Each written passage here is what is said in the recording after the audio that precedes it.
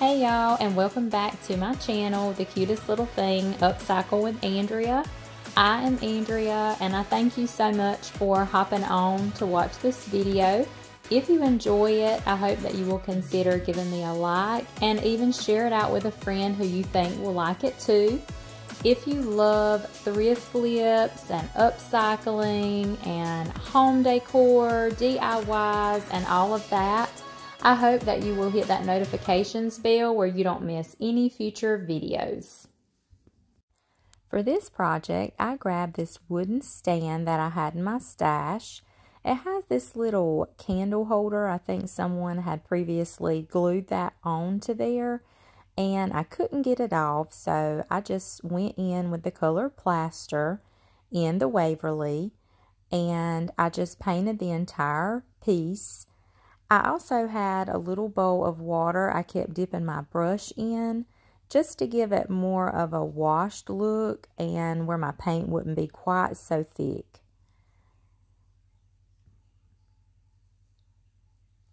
I completely covered the stand. I ended up doing two coats. I could also see a little bleed through after I did that first coat, so I went in and sprayed some shellac over the entire piece. And what that does, that just helps with any bleed through. And after that, I was good to go, no more bleed through. I have this foam pumpkin. It's a large pumpkin. I chalk painted white.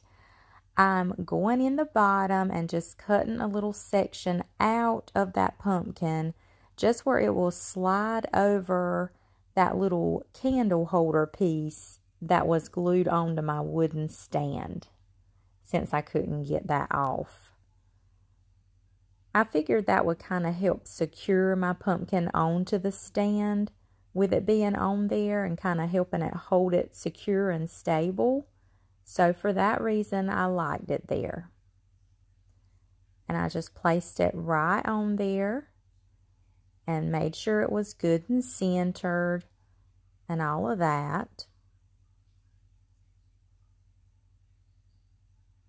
I then went in with some embellishments. I have this eucalyptus garland. I just wrapped around the base of it. I sort of tied it and hooked it together and then I secured it with some hot glue where it would stay in place. And there's the stem that was on the pumpkin and I just um, took it off. It was a little loose, so I put some hot glue to hold it in place where it wouldn't fall off. I had these leaves in my stash. It came off of a floral pick and I thought that they would go perfect with this piece since I was trying to kind of use neutral colors. And it just stuck right into that foam pumpkin. I did trim it off just a little bit with my wire cutters because it was a little long. I didn't quite need it so long. And there was already a little hole there in that pumpkin, so I just stuck it right back into that hole, adjusted those leaves, and I did end up adding some Spanish moss around that stem as well, but I don't think I got that part on video. These were some cute little floral picks I got. Let's see. I believe these came from Temu actually. And I just clipped those stems because they were longer with my wire cutters. And I just kind of went every couple of inches and placed these flowers. They almost, they could pass as mums. Um, but I'm not sure if that's what they were meant to be. But they look like a, a mum flower to me. I do end up going back and hot gluing all of these um, pieces that I'm putting in. I just like to kind of play around with it and place them first just to make sure I like the look.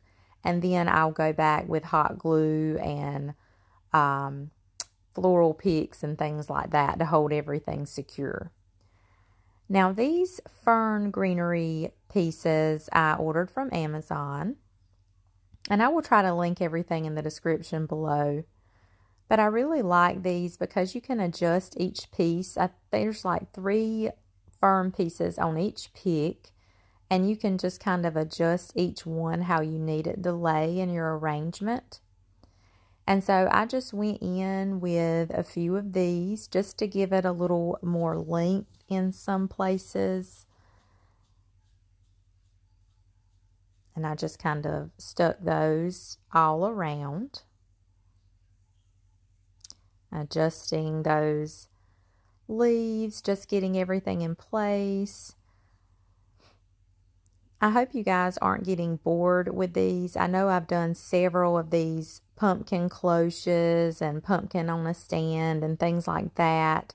But I just had so many things like this in my stash and these were selling really well in my booth that I have. So I just kept um, making these and I just wanted to share each one that I made with you guys because they were each a little different, a little, you know, unique in their own way, different colors and things like that. So I just wanted to share them all with you guys. I hope you aren't getting bored with them.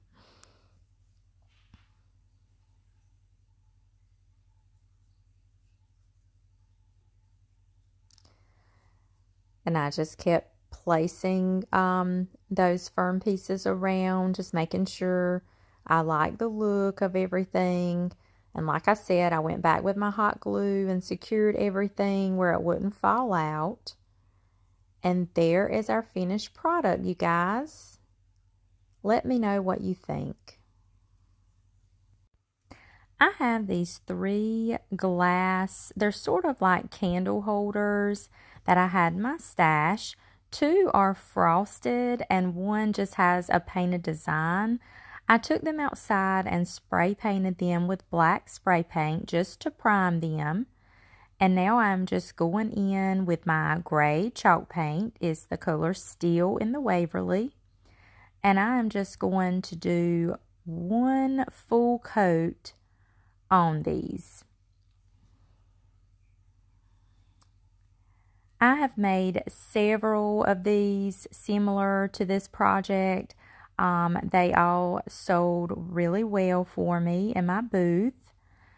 And today I just wanted to make some for my own personal use to go on my candlesticks that are on my mantel. I decided to do a crackling technique. You saw me pause there. I was thinking so after that gray chalk paint dried, I went in with some Mod Podge and I just coated all three of these really well. And I let that dry. And you just want to give it a good coat of that Mod Podge. It seems like the more you use, the better your crackle will be. And you can also use Elmer's glue for that part as well. So now I'm going in with the color Celery, also in the Waverly. And that is just a pretty green. I love the color Celery. I think it is so pretty. And I have loved it this fall using it in my projects and crafts and things. And I just coated that really well. I loved how this one had that design. It makes it look even more like a pumpkin. If you haven't guessed already, we're turning these into little mini pumpkins. I just love these. I think they are so cute. And these glass cloche type things or candle holders, tea light holders, they're easy to find in your thrift store. And I think you can even grab them up at Dollar Tree. I just went in my yard and got me some sticks, some little branches that had fallen. And I just cut them to a little stem shape. And I love these because they had some type of moss growing on them. And that made them so pretty. I just love things like that. Just looks more uh, rustic and just gives it a more realistic feel. And I just hot glued those on the top for the little stems. Then I went in and hot glued some Spanish moss and put around those stems.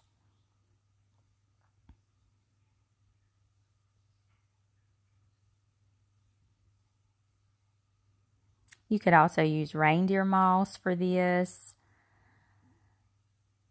Now I'm just going in and making a bow. I've got some raffia there. I've got some different uh, ribbon strips cut. And I've just got them cut the lengths that I want and just tied it all together, together with some jute string. Just double knot it in the back to be sure it's good and secure. You want it good and tight so it's not going to be moving around anywhere. I put a dab of hot glue there and put a cute little button. I get those buttons off of Amazon. I will link that in the description below. And then I first I um I tied my jute string around my stem. And I did end up going back with some hot glue just to secure those in place. And I just made a bow for each one. And I just wanted to use the neutral colors for my bow. So that's why I chose the burlap and the raffia. And then the brown color buttons. And that just matches my house really well. And you can use whatever colors. These are so cute. The possibilities are endless with these. There I had some little burlap leaves in my stash. And um, I thought about gluing those on the top but I decided it didn't need those. And look how gorgeous these are to put them on your candlesticks for the fall season. I absolutely loved how these turned out and how they match and go with my other decor because of course I've been using the color celery and then I have the other brown tones on my mantel and then some blue tones and then the burlap pumpkins there. So everything just went together beautifully. Let me know what you think of these and thanks for watching. Okay guys, back in the summer I tore down an old fence panel in my backyard and I have just been using that wood for my projects. So here I am just sawing my wood in little squares to make fall ornaments. Now we're going to go in and paint some of our wood pieces. I am going to be leaving some of them the natural stain. I'm going to be using the color pumpkin and the color celery all in the Waverly. I may also use the color agave, which is a blue color.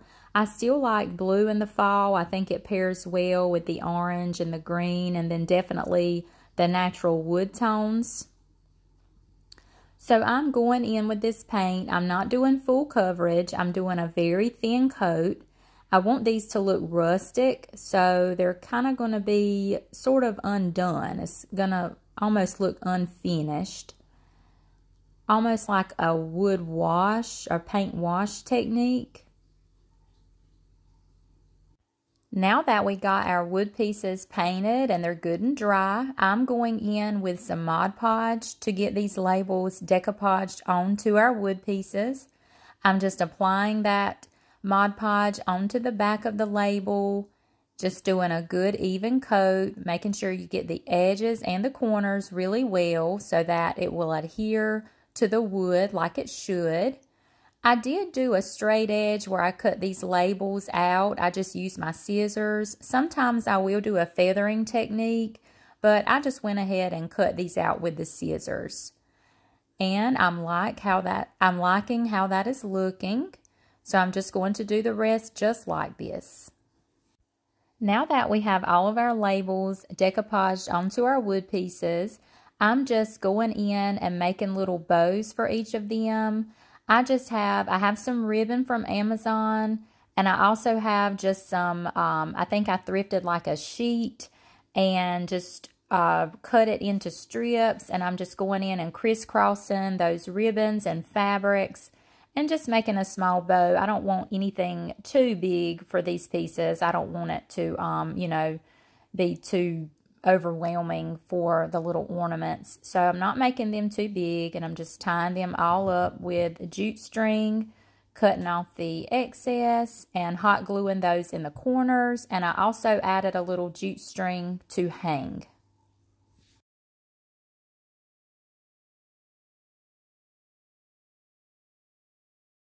And here they are, guys. Look how cute these turned out. I absolutely love these. I love the little images that were purchased off of the Etsy shop. I will include that in the description below. And some of the bows I added a half bead, and some I added a little pine cone, and some I just left plain. But I think these are the cutest little thing. Let me know what you guys think in the comments. And I hope you all have a blessed day.